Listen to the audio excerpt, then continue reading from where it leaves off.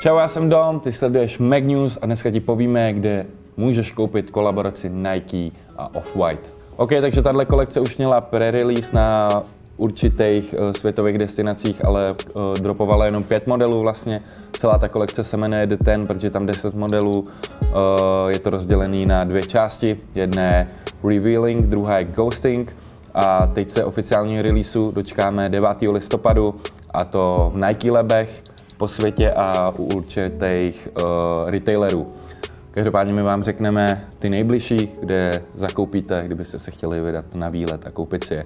Takže první je Spojený království, a.k.a. Anglie, uh, Dover Street Market v Londýně, to bude mít um, End Clothing, potom dál Food Patrol, Sneaker Stuff, potom dále Offspring a poslední shop v Anglii Pata. Dále to má i jeden shop uh, v Itálii a to Slam Jam Socialism, který je v Miláně. Potom release také proběhne u našich sousedů v Německu, a to v obchodě Overkill, Soto, Sneakers and Stuff, Soulbox, jak jinak, ten tam musí být.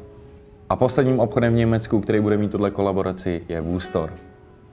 Úplně poslední zemí nám nejbližší je Francie, kde vlastně obchody jsou, nacházejí se v Paříži. První obchod je The Broken Arm, Potom Kolet, který vlastně ještě předtím než skončí, tak proběhne release, protože Kolet se bude bohužel zavírat. Potom dále to bude mít obchod Shinzo, potom také obchod Starcow a úplně posledním shopem v Paříži a vlastně úplně posledním obchodem v celém našem listu je opět Sneakers and Stuff.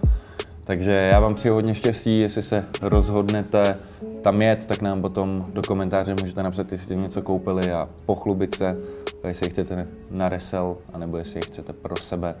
Každopádně to je ode mě vše. Sdílej, lajkuj, dávě odběr a uvidíme se příště. Čus.